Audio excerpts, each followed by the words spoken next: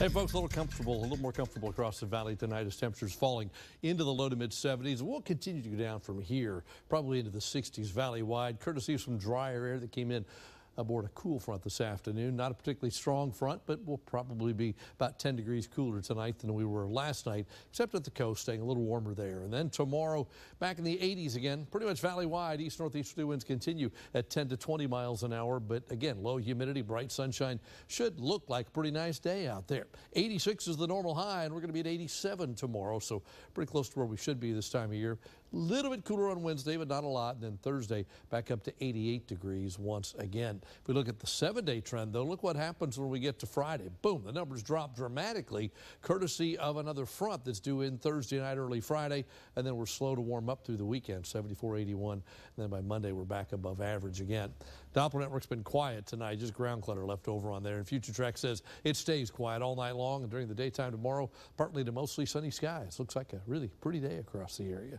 Tomorrow night, skies stay mainly clear. During the daytime Wednesday, partly to mostly sunny again. Can't rule out an evening shower or thunder shower on Wednesday, but the daytime hours should be dry. If you look at the rain chances, we've got about a 30% chance in there for Wednesday late, like Wednesday night. And then Thursday, about a 50% chance. We're talking late in the day again primarily during the overnight hours. There's spotty stuff during the day, but the better chance at night.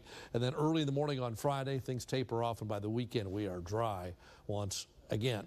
The rest of South Texas, here's where temperatures are right now. 71 in Fowl, 73 in Corpus. San Antonio is only 65. Victoria at 63. Same thing as Dallas.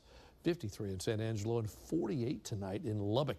Big storms last night in North Texas, big storms last night in South Texas, but it's all moved out for all of Texas. Tonight things are clearing out quickly. Just some leftover clouds here, that's about it. The front moves away, triggers some showers down to the south of us. By Wednesday, the flow comes back off the Gulf of Mexico. Southeast wind will bring some moisture back in maybe a late night shower. Better chance on Thursday into Thursday night. Here comes the next front. It's due in overnight Thursday, early Friday, turning it much cooler for Friday. You saw those highs only in the upper 60s on Friday, with clouds lingering, maybe a few showers for much of the day. Hopefully by Friday night football, the cool temperatures build in and the rain builds out, but there's at least a chance even into the evening for a leftover shower or two. Traveling in the morning, San Antonio starts with sunny and 56 degrees. Dallas is 50, Houston 57. These are all 7 a.m. temperatures as you can see by afternoon. What a beautiful day across Texas. Sunshine, wall to wall, 70s and 80s for the most part. Quick check of the coast. Here's what's happening. Winds out of the northeast 15 to 25 knots. The bay is choppy. UV is high. The bay temperature, surf temperature both at 81. So for tonight, 67. Clear to partly cloudy. Much cooler than the last couple of nights. And then tomorrow, 87, but lower humidity. That's the real key.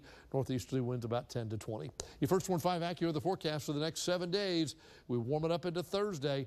Chance of showers and then much cooler on Friday. No warmer than about 69 degrees. Long range models do show another front about the middle part of next week. So another shot, one after another. The cool fronts are coming in.